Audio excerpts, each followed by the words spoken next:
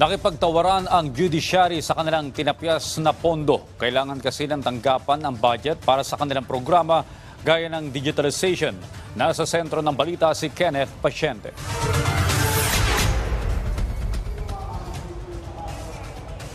Audrey, dininig ng House Committee on Appropriations ang inihirit na pondo ng Hudikatura. 71.91 billion pesos ang proposed budget ng judiciary. Pero 57.79 billion pesos lang ang pinayagan ng Department of Budget and Management. Kaya sa budget hearing ng committee level sa Kamara, inihirit ng judiciary na mairekonsidera ang hindi inalaw na pondo. Kung susumahin kasi Audrey, 14.12 billion pesos ang natapyas sa kanilang panukalang pondo. Bagay na magagamit sana nila sa mga programa ng judiciary. variance of 14.12 billion uh, insofar as uh, the expense items are concerned are as follows. For personal services, it's 9.3 billion. For MOE, it's 3.7 billion. For capital outlay, it's 43 million. For uh, RLIP, it's uh, 17.5 million. And for RGTLP or uh, retirement gratuity, terminal leave, and the pension, it's 1.09 billion. So uh, the variance insofar as that 14.12 billion is concerned, for the Supreme Court, it's uh, 12.20, uh, po- 12.2 billion. For the PET, it's 7.74 million. For the Court of Appeals, it's 1.19 billion. For the Sandigan Bayan, it's 443 million. And for the Court of Tax Appeals, it's 287 million.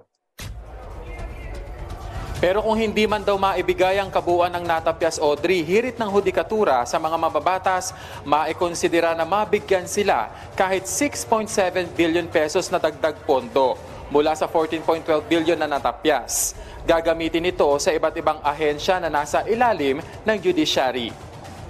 Yes, most of these, uh, Your Honor, are personal uh, services items, Your Honors, uh, for the uh, for the Supreme Court, uh, particularly with respect to the uh, adjustments in the salary grades of our court personnel nationwide for the first and second level courts, no, uh, numbering about more than 20,000, uh, Your Honors. And then uh, personal, uh, other personal benefits uh, for the appellate courts, uh, for the uh, Court of Appeals, the uh, Court of Tax Appeals in the Sandigan Bayan. Ipinunto rin ng Hudikatura Audrey na patuloy ang kanilang pagsasaayos ng mga korte para mapabilis ang serbisyo sa publiko. Kabilang na riyan ang pagpapalakas pa ng kanilang digitalization.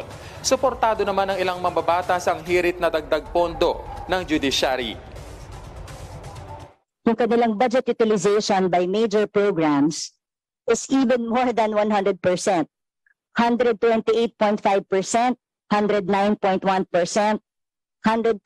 So wala po akong nakikitang rason why we cannot give what they are asking for. in this case, uh, the 6.7 billion, which are all, I think, are all going to the PS, no? The personal, um, uh, for additional manpower. I think 3.5 billion would be additional manpower and, uh, you know, to justice delayed is justice denied. In this case, we are, we cannot delay our budget also to the judiciary.